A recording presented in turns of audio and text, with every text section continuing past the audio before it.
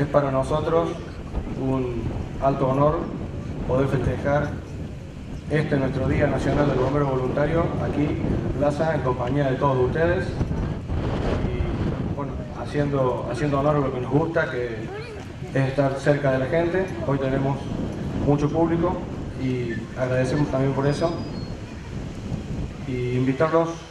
a todos mis compañeros, no solo los de nuestro cuartel, sino los de todos los cuarteles de bomberos voluntarios a lo largo y ancho de nuestro país, a que sigamos firmes en el camino del servicio. Nuestra vocación nos demanda a veces servir en situaciones de riesgo, a veces en situaciones aún de riesgo de nuestra propia vida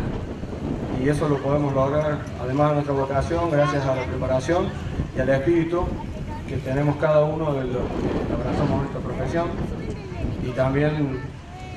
eh, nunca debemos olvidar que todo esto lo podemos lograr gracias al, al, apoyo incondicional que tenemos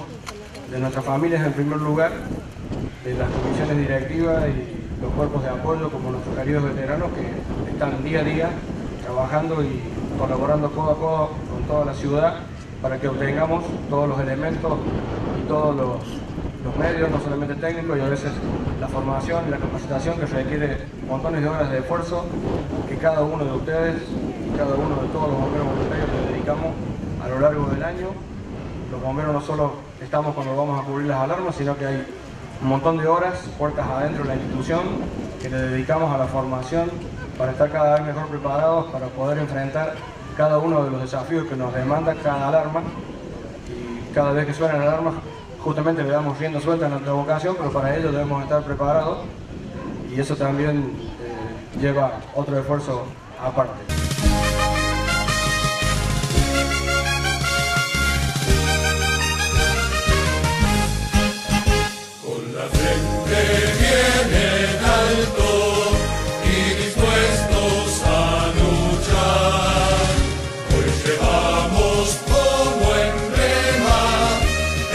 De ayudar.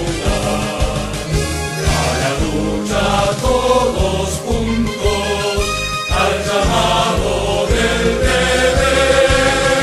defendemos nuestro lema, sacrificio, valor y abnegación.